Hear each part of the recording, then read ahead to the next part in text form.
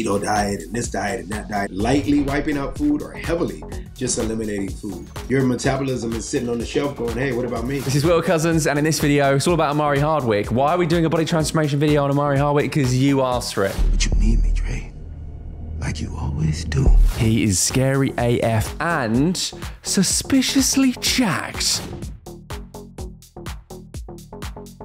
He was shortchanged doing that role. Apparently, he only earned $150,000 per episode. It's not enough, according to Omari. I think you did all right. He loaned me one summer, like 20 G's. He said, I can't have my number one effed up. Not only does Omari Hardwick smash it as Ghost in Netflix's Power, he also stars in Netflix's Army of the Dead and is huge in that.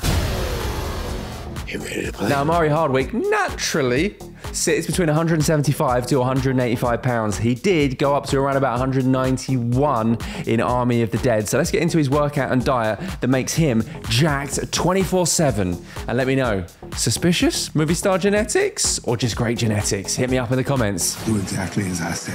Whatever your foolish plan is, it won't work.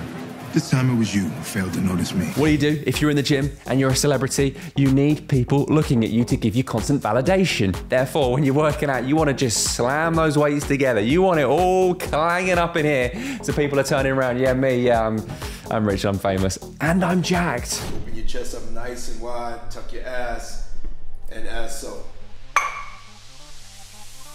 Now for me, I'll do about three sets. And if the clanging of heavy weights doesn't work, you might want to let out some classic grunts just to get those heads turning. Ah. Omari Hardwick is full of insights. This is his take on breathing.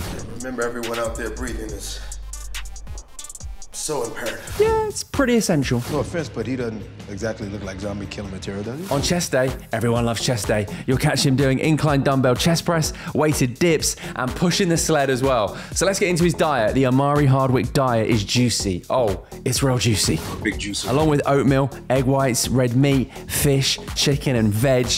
He loves a bit of juice. Seriously, this guy's squeezing all day long. Pure cranberry juice, not with a lot of sugar. Orange juice, freshly squeezed. Carrot juice, celery included in it, and then grind all that up together. So I often do that, particularly when I'm working and on set. I can just grab it and go. And when it comes to cheat day, Omari Hardwick goes in with the oatmeal cookies. 100% with you on that one. However, he has raisins and peanut butter with it. Swap the raisins out for organic Medjool dates and elevate your game. Come on, you're a movie star now.